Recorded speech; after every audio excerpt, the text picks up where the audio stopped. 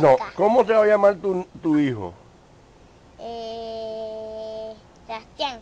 Sebastián. ¿Y tu hija? Verónica. Verónica. Verónica Rodríguez y Sí. Sebastián Rodríguez. ¿Pero tú te vas a casar con una mantequilla?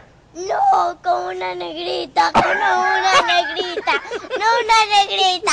¡No! Mira, el día que yo me case, si he de casarme algún día, será con una negrita nacida en Santa Lucía. ¡Ah, qué feo!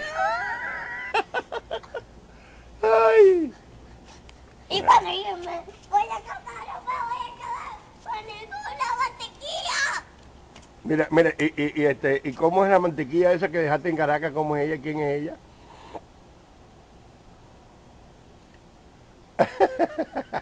Mm. Eres tan feliz.